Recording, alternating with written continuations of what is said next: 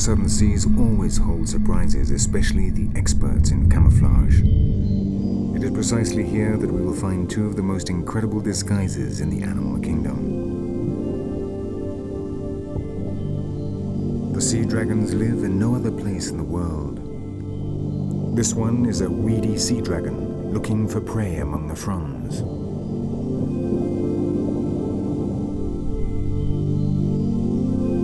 The apotheosis of this style is the other species that lives in these waters, the leafy sea dragon, a baroque fish related to the seahorses.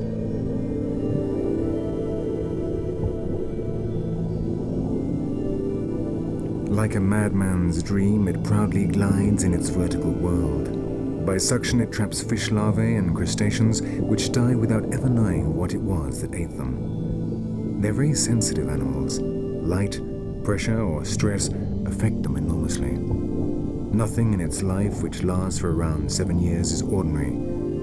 Its biology is an enigma, and perhaps it is best it should remain that way.